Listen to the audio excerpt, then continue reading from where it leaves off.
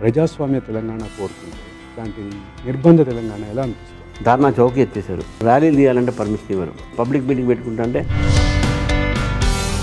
ఎమ్మెల్యేలు ఎమ్మెల్సీలు వీళ్ళకి గవర్నర్ని కలవటానికి సీఎంని కలవటానికి నిరోధించే స్థాయిలో నిర్బంధాన్ని ఎలా అర్థం చేస్తుంది after three and half years of my MLC CM గారిని అఫీషియల్గా వీఆర్ నాట్ ఈవెన్ నౌ సగటు జీవి మనసులో ఉన్న ప్రశ్నలు. తెలంగాణలో వివిధ వర్గాల్లో అన్రెస్ట్ వచ్చినప్పుడు బయటికి రాని బీజేపీ ప్రజాప్రతినిధులు ఒక స్వామీజీని ఆరు నెలల పాటు బహిష్కరిస్తే ఇంతగా రియాక్ట్ అవ్వడానికి కారణాలు? ప్రతిసారి పబ్లిక్ ఇష్యూస్ రావు. ఒక్కొక్కసారి ఒక్కొక్క ఇష్యూస్ వస్తుంటాయి. బీజేపీ టీఆర్ఎస్ మిత్రబంధంలో వెళ్తున్నారు అనేది బయట వాదన దీని మీద మీ అభిప్రాయం? ఈ ఇంప్రెషన్ రావడానికి కారణం దానికి రెండు కారణాలు బలమైన కారణాలు రెండు ఉన్నాయి. ఒకటి సెంట్రల్ గవర్నమెంట్ కాంగ్రెస్ ఎంఐఎం మధ్య గతంలో స్నేహపూర్వక పోటీలు ఉండేవి. రెండు వేల పంతొమ్మిదిలో బీజేపీ తెరాస మధ్య స్నేహపూర్వక పోటీకి అవకాశం. మాకు వ్యక్తిగతంగా వివర్తన విభేదాలు లేవు వేరే మాట కానీ రాజకీయంగా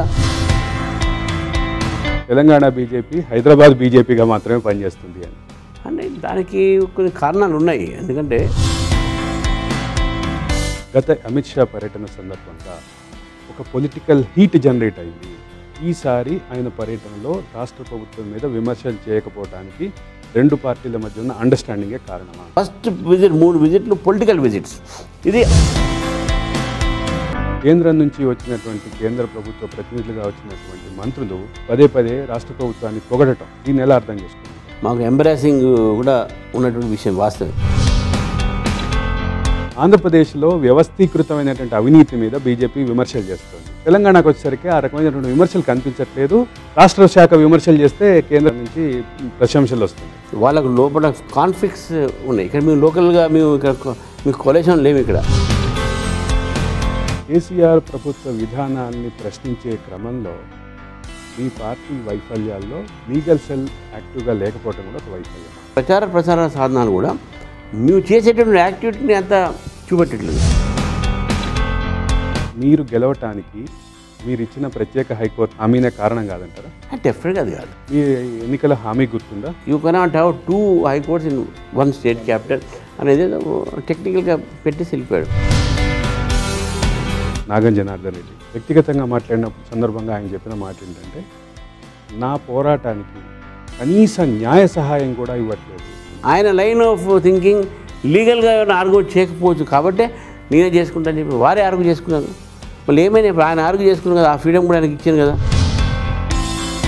కేసీఆర్ వ్యతిరేక రాజకీయ శక్తులకి కాంగ్రెస్ కనిపిస్తున్నట్టుగా బీజేపీ ఎందుకు కనిపించదు? ఒక స్టేజ్లో బీజేపీనే కనబడ్డది. లాస్ట్ టైం అమిత్ షా గారు వచ్చినప్పుడు కానీ అంతకుముందు కానీ మూడుసార్లు బీజేపీనే ఆల్టర్నేటివ్గా అనిపించింది జానారెడ్డి బీజేపీలోకి వస్తారని ప్రచారం జరిగింది. కోమటిరెడ్డి బ్రదర్స్ బీజేపీలోకి వస్తారని ప్రచారం జరిగింది. రేవంత్ రెడ్డి బీజేపీలోకి వస్తారని ప్రచారం ఇలా ఒక సుమారు ఇరవై ఐదు ఇరవై ఆరు మంది నాయకులు బీజేపీలోకి వస్తారని ప్రచారం జరిగిన తర్వాత కూడా అది ఆచరణలోకి రాలేదు. ఒకరికో మాకే పగ్గాలు అప్పచెప్పాలి ఒకరికో నన్నే ముఖ్యమంత్రి డిక్లేర్ చేయాలి. ఇంకొకరికో నాకు పెట్టినట్టు అరవై మందికి టికెట్ మీరు ఇవ్వాలి కాంగ్రెస్ నుంచి వచ్చిన నాయకుడికి ఆంధ్రప్రదేశ్ అధ్యక్ష పదవి ఇచ్చినప్పుడు ఇక్కడ కూడా అలాగే ఇవ్వచ్చు కదా? మాకు ఆల్రెడీ సిస్టమ్ ఉంది కదా. ఎన్జేఏసి అనే ఒక అద్భుతమైనటువంటి అత్యవసరమైనటువంటి న్యాయ సంస్కరణ డిలే అవడానికి కారణం? కోర్టు మూడు రెండు సంవత్సరాలు దాన్ని నానబెట్టింది. రిటైర్ అయినటువంటి ఆ జడ్జి మీద రకరకాలైనటువంటి ఆరోపణలు ఆయనకు కులం కేంద్రంగా రకరకాలైనటువంటి అలిగేషన్స్ ఈ పార్టీ సోషల్ మీడియా కార్యకర్తల నుండి. ఆ వ్యక్తి మీద ఎప్పుడు కూడా సోషల్ మీడియాలో మేము మాత్రం ఏ ప్రచారం చేయలేదు. ఆయన గురించి మీ అభిప్రాయం మంచి జడ్జి మన సుప్రీంకోర్టులో కూడా మంచి జడ్జిమెంట్స్ ఇచ్చాడు. జడ్జిలే జడ్జిల్ని తర్వాత తరం జడ్జిల్ని అపాయింట్ చేయడం ద్వారా ముందు తరం జడ్జిలు చేసినటువంటి పొరపాటును ప్రశ్నించే అవకాశం లేని పరిస్థితి. ఒక టెర్రరిస్ట్తో ఉన్నట్టు లింక్ వ్యక్తున్నట్టుగా ఆల్మోస్ట్ సెలెక్ట్ అయిపోయాడు. లాస్ట్ మూమెంట్లో ఎంక్వైరీ తెలియదు కాబట్టి పక్క పెట్టిన ఆయన్ని. తమిళనాడు ఎగ్జాంపుల్ తీసుకుంటూ. రెండు వేల పంతొమ్మిది రాజకీయ ముఖ చిత్రం తెలంగాణలో ఎలా ఉండబోతుంది? తెలంగాణలో బీజేపీ చాలా కీలకమైన పాత్రలో ఉంటుంది. రెండు వేల పంతొమ్మిదిలో అధికారం మాట తర్వాత ముందు బూత్ స్థాయి కమిటీలన్నా వేసుకోండి అని మీ అధ్యక్షుడు తిట్టినట్టుగా వార్తలు వచ్చింది వారు అంత మాట అన్నారంటే మీరు ముందు అన్ని చేయండి ముందు అన్నారు. సూటి ప్రశ్న. రెండు వేల పంతొమ్మిదిలో కేసీఆర్ తిరిగి అధికారానికి వచ్చే అవకాశాలు ఎంత మేరకున్నాయి లేవు.